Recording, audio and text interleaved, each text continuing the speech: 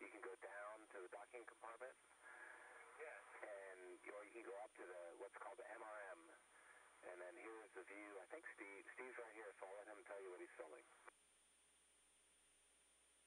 Well, this is pretty uh, re- constricted window environment here, and the camera was almost too big to see through the window. But if you look just in the bottom part, okay, there's Endeavour, the, the port wing of Endeavour.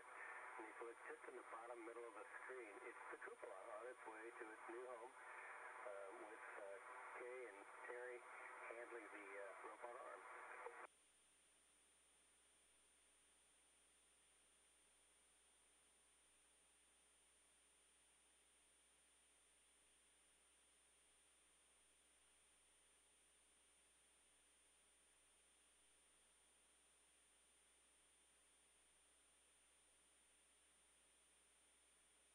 This is more Russian segment stuff. That was an Orlan suit, which is their spacesuit, um, similar to ours, same kind of function, just a little bit different design.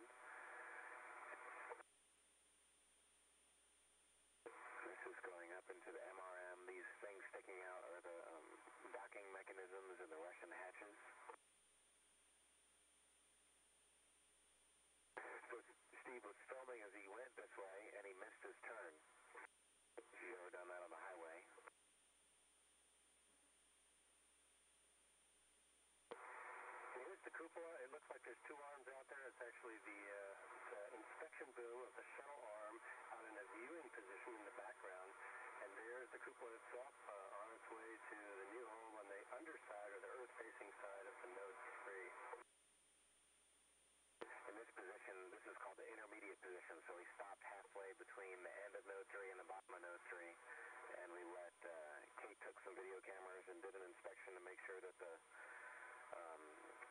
end it, the bottom of the cupola, was in good shape, so that when we made it and attached it to Node 3, there wouldn't be any leaks or any little pieces of dirt or anything wedged in there, and it was in good shape.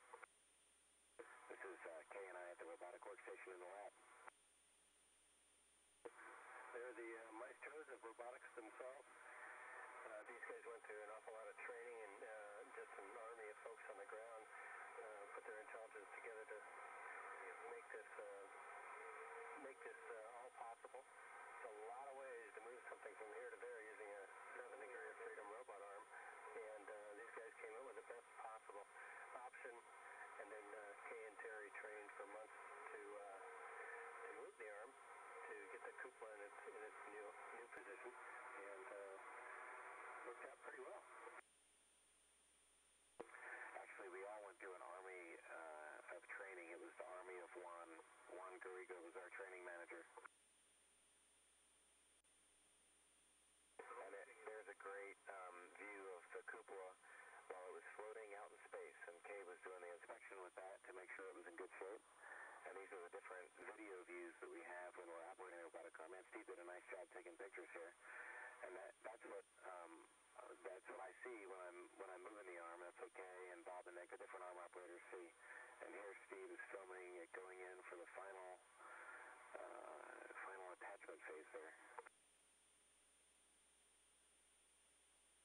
So one great thing about this job is the view from the office window just can't be beat.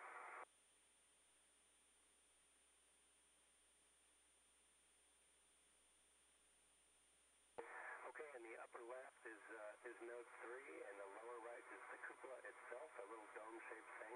It's actually not very little, but compared to the rest of the space station, it looks pretty uh, pretty uh, petite. You can see all kinds of space hardware out there, a couple different uh, robot arms, one from the space shuttle, one from the space station.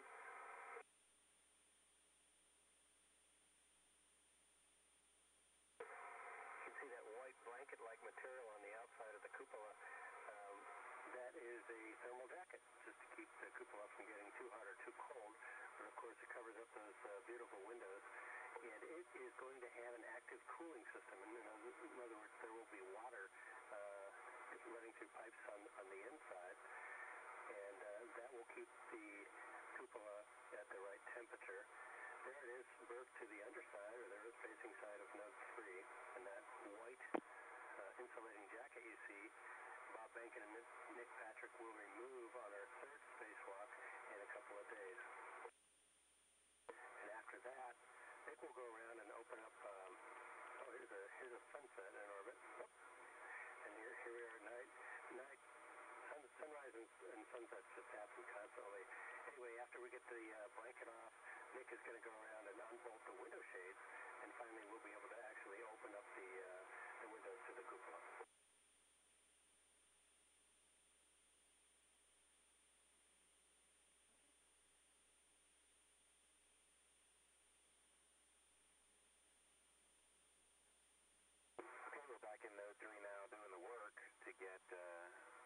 the cupola in it. So in the morning, we had to depress it, take all the air out of the cupola. And then uh, here we are in the evening after we atta- reattached it to a different hatch, and now we're having to open up the hatch and put air back inside of it. So um, one of the fun things, like I said before, about working in Node 3 is that you can work in any attitude, any direction you want can be up, and uh, you can have a bunch of people in a small space where in, in, on the ground in a trainer it would be really uncomfortable and hard to get to. You can just float and spin your body and get in the position that you need to get in. That's Steve Robinson and uh, Jeff Williams, the space station commander, working down there.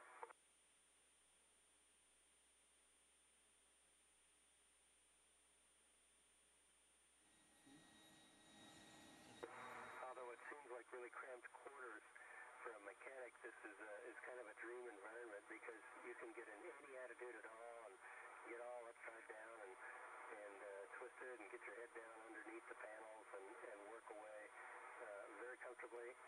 Um, you've got you've got light and there's airflow and uh, your neck never gets sore and you never drop your tools down your down on your chest and grease doesn't drip on you and it, it, this a really nice working environment.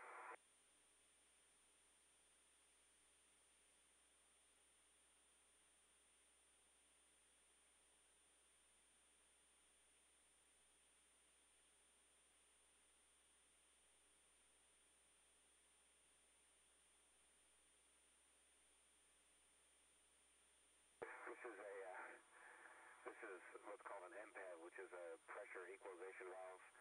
Uh, all the hatches have those on. Uh, it allows you to make the pressure the same on both sides of the hatch. So Steve was demonstrating how it does not fit, and now he's demonstrating how it does fit.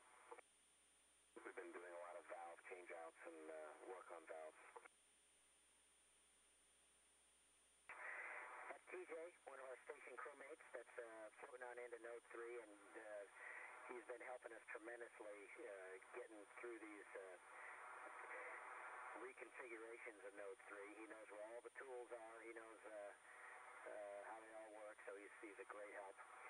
And uh, that's Terry there, and he's trying to work on a rack. He's, he's trying to do some rack outfitting so it can be uh, rotated easily and conveniently uh, in its orbit configuration. Rotating racks, essentially, that's the way we get to the back of them. We don't pull them out. We just uh, kind of put a hinge on them and pull one end of them down and then kind of slide them out. That's how we get to them. And uh, uh, the racks are launched with uh, uh, some pretty beefy structure that we don't need once we get on orbit. So part of the rack outfitting is pulling that out and putting in some convenience items so we can work on them.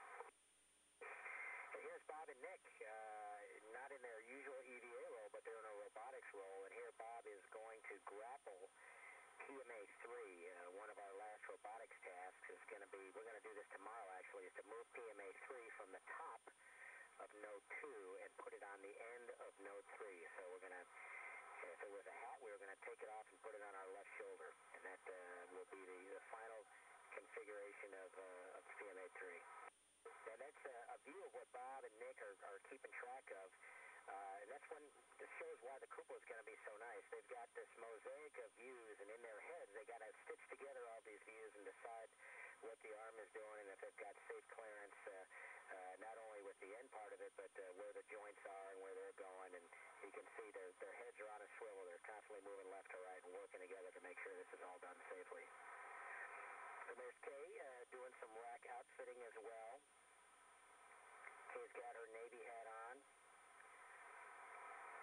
And uh, who do we have? I think Jeff Williams in the background and Terry in the foreground here. So we've been busy bees inside Node 3, uh, doing all kinds of different procedures to get things ready.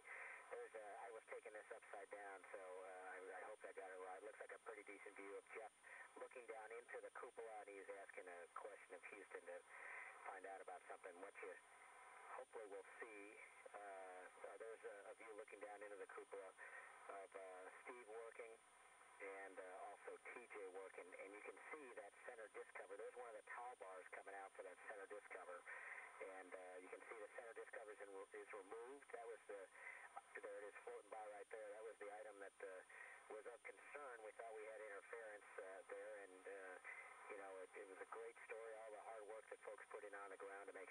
get it out. And that looks like that's uh, that's it for today.